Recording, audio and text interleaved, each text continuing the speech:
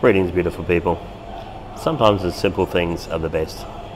I love making basic pizzas, letting the ingredients shine, not too many flavours, not too much confusion, good quality ingredients, treated with respect, prepared simply.